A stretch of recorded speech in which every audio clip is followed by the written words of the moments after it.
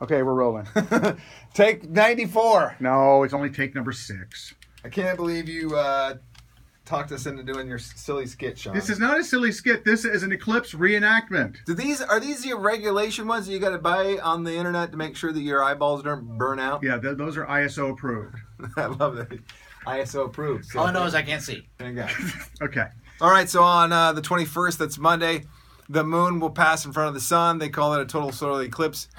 The totality is at 1020, right? So that's what we're going to play Dark Side of the Moon in its entirety. And the last line of that album is uh, when the when the sun is eclipsed by the moon. So I'm Jared. I for this interpretation, I'll be playing the role of the moon. My name is Cort. I will be playing the sun. All right. Let's do I can't thing. see anything. Can you start the music, Sean, or should I just reach over and here? Hold on a second. I think I got it. Hold on. Here we go. Gotta do that. All right. Graceful impact.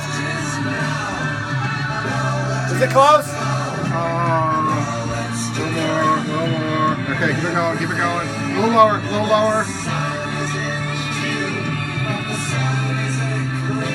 Where's the light switch? Where's the light switch? There you go. No, more, more, more.